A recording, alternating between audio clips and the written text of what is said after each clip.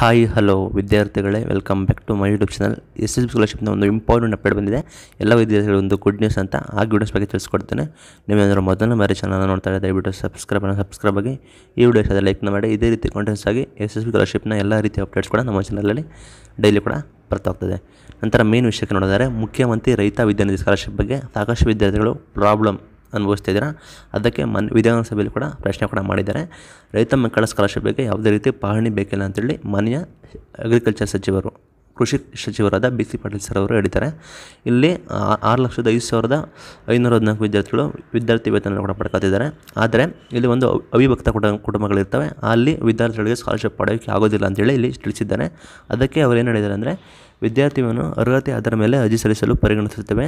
ಅವಿಭಕ್ತ ಕುಟುಂಬ ಇದ್ದರೆ ಅಲ್ಲಿ ಒಬ್ಬರಿಗೆ ಒಬ್ಬರ ಹೆಸರಲ್ಲಿ ಮಾತ್ರ ಪಾಣಿ ಇರ್ತದೆ ಬೇರೆ ವಿದ್ಯಾರ್ಥಿಗಳಿಗೆ ಇತರ ಮಕ್ಕಳಿಗೆ ಸಮಸ್ಯೆ ಆಗುತ್ತೆ ಅಂತೇಳಿ ತಿಳಿಸಿದ್ದಾರೆ. ಅದಕ್ಕೆ ಸಚಿವರು ಏನು ಹೇಳಿದ್ದಾರೆ ಅಂದರೆ, ನೀವು ಎಸ್ ಎಲ್ ಸಿ ನೀವು ಅಪ್ಲೈ ಮಾಡಿದ್ರೆ ಸಾಕು. ಯಾವುದೇ ರೀತಿ ನಿಮ್ಮದು ಪಾಣಿ ಗಿಣಿ ಸಲ್ಲಿಸೋದು ಬೇಕಾಗಿಲ್ಲ. ಈ ಯೋಜನೆಗೆ ಎರಡು ಸಾವಿರದ ಇಪ್ಪತ್ತೊಂದು ಇಪ್ಪತ್ತೆರಡನೇ ಸಾಲಿನಲ್ಲಿ ಇನ್ನೂರು ಕೋಟಿ ಅನುದಾನ ಮೀಸಲಿಟ್ಟಿದ್ದೀವಿ. ಎಂಟರಿಂದ ಹತ್ತನೇ ತರಗತಿ ವ್ಯಾಸಂಗ ಮಾಡುತ್ತಿರುವ ರೈತ ಕುಟುಂಬದ ಹೆಣ್ಣು ಮಕ್ಕಳು ಮತ್ತು ಎಸ್ ಎಲ್ ಸಿ ಪೂರೈಸಿದ ಎಲ್ಲ ಮಕ್ಕಳು ಇನ್ಕ್ಲೂಡಿಂಗ್ ಡಿಗ್ರಿ ಸ್ನಾತಕೋತ್ತರ ಡಿಗ್ರಿವರೆಗೂ ವಿದ್ಯಾಭ್ಯಾಸ ಪಡೆಯುವ ಪಡೆಯೋರು ವಿದ್ಯಾನಿಧಿ ಯೋಜನೆ ಬಳಕೆ ಆಗಿ, ಆಗಿದೆ ಅಂತೇಳಿ ತಿಳಿಸಿದ್ದಾರೆ. ಇಲ್ಲಿ ಮೇಯ್ನ್ ಏನು ಹೇಳಿದ್ದಾರೆ ಅಂದರೆ ಯಾವುದೇ ರೀತಿ ನೀವು ಪಾಣಿ ಬೇಕಾಗಿಲ್ಲ. ಒಂದು ಕುಟುಂಬದಲ್ಲಿ ಒಬ್ಬರು ಹತ್ರ ಮಾತ್ರ ಪಾಣಿ ಇರ್ತದೆ. ಬೇರೆಯವ್ರಿಗೆ ಇರೋದಿಲ್ಲ. ಅಂಥ ವಿದ್ಯಾರ್ಥಿಗಳು ಕೂಡ ಸ್ಕಾಲರ್ಶಿಪ್ ಬರ್ತದೆ ಅಂತೇಳಿ ಇಲ್ಲಿ ತಿಳಿಸಿದ್ದಾರೆ. ಬಟ್ ಸ್ಪಷ್ಟನೆ ಮಾಡಿಲ್ಲ ಯಾವ ರೀತಿ ಅಂತ ಅಂತ ಹೇಳಿ ಇದರಲ್ಲಿ ತಿಳಿಸಿದ್ದಾರೆ. ಇದು ಇವತ್ತಿನ scholarship updates thank you for watching